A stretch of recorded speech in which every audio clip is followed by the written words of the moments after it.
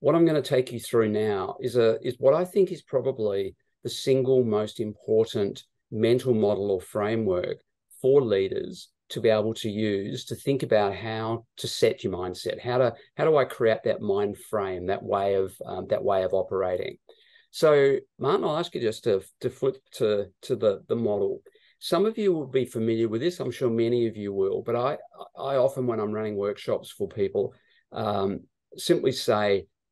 how many leadership models and how many leadership models and frameworks have we been exposed to in our careers and of course the answer is hundreds I think this is arguably the most important one to not necessarily begin exactly with, but I think as a leader, one of the most important things to think about is how do you make sure that the sort of challenges that you're facing are uh, uh, that you're equipped to deal with those challenges. So if we look down the left hand side for a moment, what Heifetz, when he developed this notice, was that there were leaders who did very well facing a variety of challenges, but there were some that they struggled with. They seemed to come back to again and again, that they didn't seem to be able to work their way through. And from that, what he identified were these types of, and in the book, we refer to them to some extent more as linear and non-linear challenges.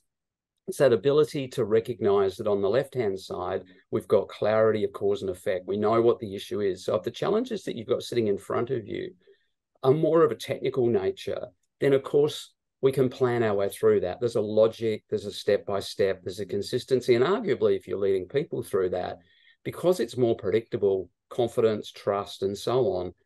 inevitably gets clearer the, to some extent the closer you get to the outcome. But if we look on the right hand side for a moment, and chances are this is where many of your challenges, significant challenges face, not only aren't we sure on what the solution is, we're still trying to clarify what that problem is.